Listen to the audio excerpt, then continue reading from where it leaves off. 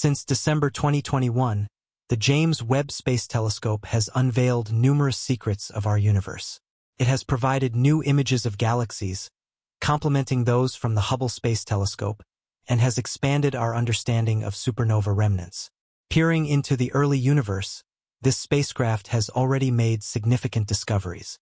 In its latest observation, the powerful Webb telescope has captured a new deep field view of the universe, offering a glimpse into some of the farthest reaches of space. In this image, hundreds of objects are visible amidst the black ether of the cosmos. These are galaxies, each teeming with stars and planets. Many resemble spirals akin to our Milky Way galaxy. The deepest galaxies appear red as their light has been stretched into longer wavelengths due to the expanding universe. But that's not all. This view looks back billions of years, revealing ancient galaxies and black holes at their centers merging just a couple of hundred million years after the Big Bang. Join us as we delve into this new Webb telescope photo that truly boggles the mind. At the beginning of everything, the cosmos underwent a period of rapid expansion. Space expanded exponentially, stripping reality of form and creating a near-featureless void. If you could have sat on an atom, though atoms did not yet exist, and gazed out, you would have seen nothing but freezing, suffocating darkness as space expanded relentlessly. All other objects were carried far out of sight faster than the speed of light. Paradoxically, while space expanded, the observable world shrank to a tiny, inescapable nutshell, isolating every speck within its own sphere of nothingness. This era of extreme expansion is known as inflation. Its duration remains a mystery. Whether it lasted an instant or an eternity, we may never know. Any traces of earlier epochs have been erased by this cosmic growth. However, at some point, inflation ceased, and the universe burst into existence. The force behind inflation dwindled, birthing countless particles that filled the expanding void with a blazing subatomic fire, the primordial plasma from which all cosmic objects would later form. Within a trillionth of a second, the fundamental forces of nature emerged, marking the first and greatest blaze of light in cosmic history. Although inflation ended, space continued to expand at a slower pace. As the cosmos grew, the primordial fire cooled, and elementary particles fused to form the first atoms. Over the next few minutes, the nuclei of hydrogen, helium, and lithium were forged, the building blocks of everything yet to come.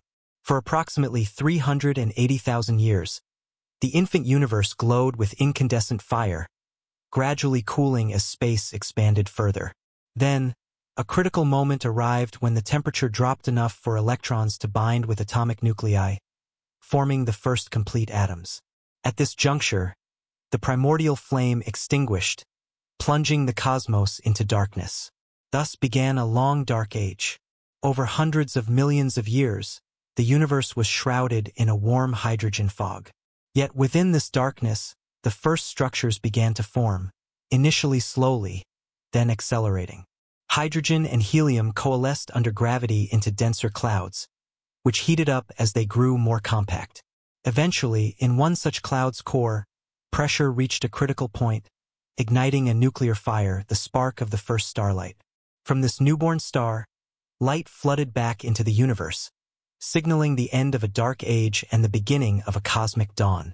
Soon, the universe was dotted with stars gathering into the first galaxies. These stars synthesized elements like carbon, oxygen, nitrogen, and iron, which were dispersed throughout space. As these first stars died in supernovas, they seeded space with even more elements, perpetuating a cycle of birth, death, and rebirth. Around 9 billion years after the cosmic dawn, in an outer spiral arm of one of the billions of galaxies now dispersed through space, a new star flickered into existence. About it circled a fleet of worlds, and on one rocky sphere, Earth, matter somehow came to life under the guidance of fundamental physical forces. Atoms arranged themselves into increasingly complex organisms that grew, multiplied, and evolved over billions of years. The pale blue orb teemed with life. Species emerged, thrived, and perished in the ongoing dance of evolution. Eventually, humankind emerged, standing on Earth's surface, gazing up at the stars, pondering their origins and the vastness of the cosmos. This narrative of the cosmos, its origins, and its history has been painstakingly pieced together over centuries by the collective effort of thousands of people. Modern science allows us to confidently discuss events that are both ancient and distant, stretching our imaginations. This achievement stands as one of the greatest of our species, considering it was accomplished from a vantage point on the surface of an insignificant rock hurling through space. While we have unraveled some of the universe's beginnings, the data amassed from particle physics and astronomy indicates that we still comprehend only a fraction of the cosmos. Observing the sky reveals that matter is organized on a grand scale into galaxies and clusters of galaxies. Galaxies contain stars, planets, and gases.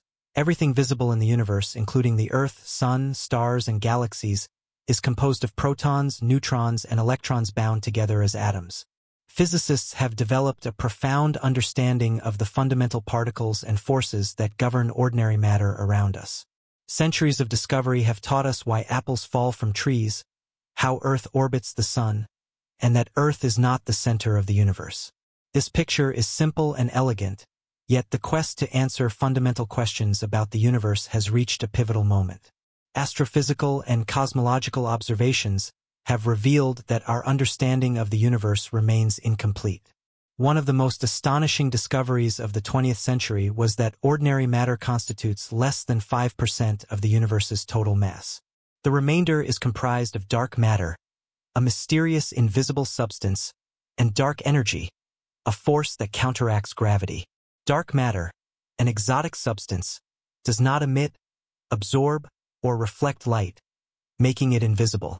Its existence is inferred from its gravitational effects on galaxies.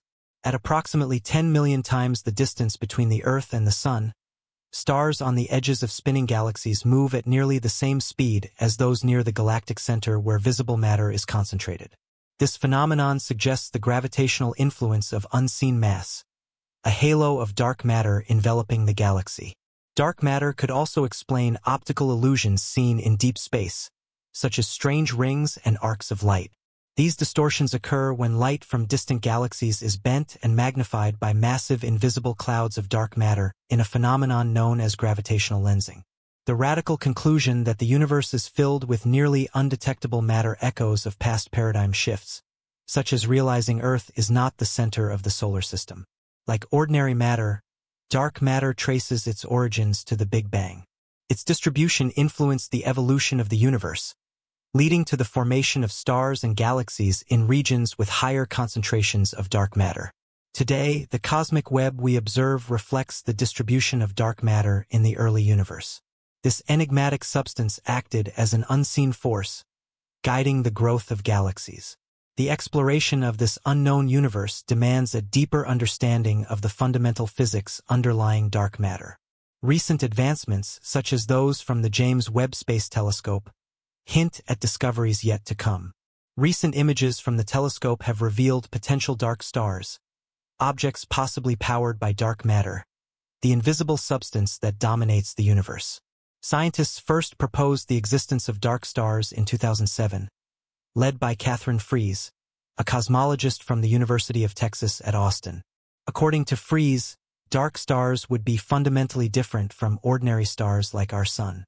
While normal stars derive their energy from nuclear fusion of hydrogen atoms, dark stars would potentially be powered by the annihilation of dark matter particles. Dark matter, whose nature remains elusive, interacts gravitationally with visible matter such as galaxies, but it could also self-interact, producing heat and light sufficient to form and sustain these celestial bodies. These dark stars couldn't form in today's universe due to the scarcity of dark matter. However, they might have emerged in the early universe shortly after the Big Bang, when clouds of hydrogen, helium, and dark matter were abundant.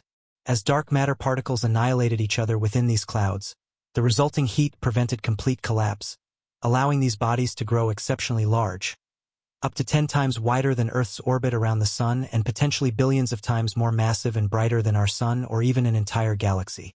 The James Webb Space Telescope, designed to explore ancient and distant cosmic objects, may have already detected signs of these hypothetical dark stars.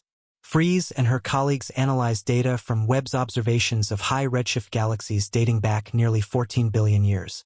They identified three candidate objects, JADES RGS-2-10.0, JADES RGS-2-12.0, and JADES RGS-2-13.0, with characteristics resembling what dark stars might exhibit. High redshifts and possibly point source emissions indicative of stars rather than fuzzy galaxies. Confirming the existence of dark stars would provide compelling evidence for the presence and behavior of dark matter. It could also offer insights into the formation of supermassive black holes, which remain mysterious in origin despite their prevalence in galactic centers. These cosmic behemoths, millions or billions of times more massive than our sun, could potentially form from the remnants of dark stars after the annihilation of dark matter within them. In essence, our journey into the cosmic dawn continues with the James Webb Space Telescope leading the way. Each discovery brings us closer to unraveling the secrets of the early universe and understanding the forces that shaped it.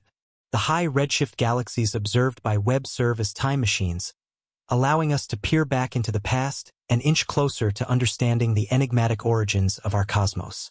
Explorers of the unknown, we stand at the brink of discovery, poised to uncover more about the universe's mysteries.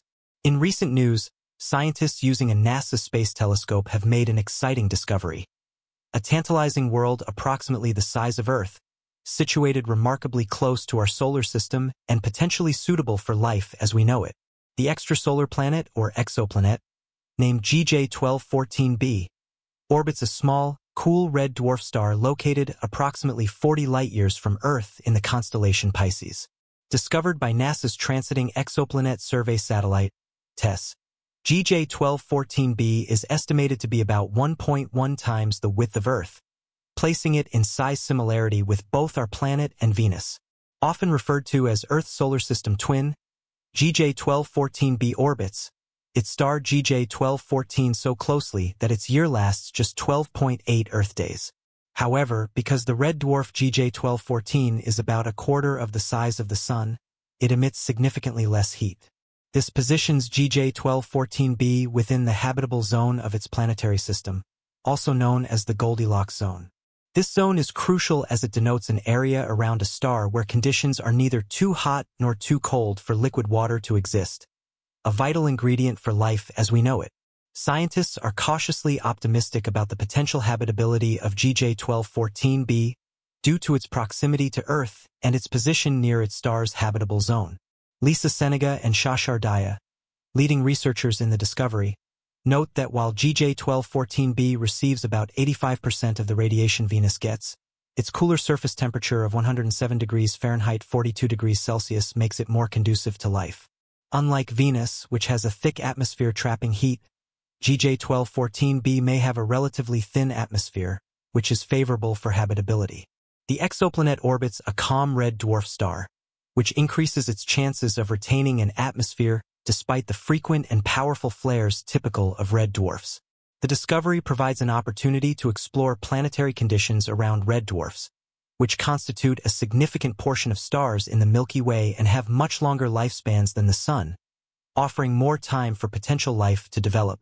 Future studies using methods like the radial velocity technique and transmission spectroscopy with the James Webb Space Telescope aim to reveal more about GJ1214b's atmosphere and potential biosignatures.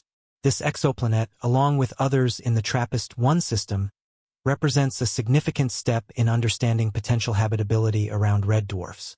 While it's too early to determine if GJ1214b can support life, further research is eagerly anticipated. Kelowna remains hopeful, emphasizing the importance of continued study. The episode concludes by encouraging viewers to engage with the content and support further research.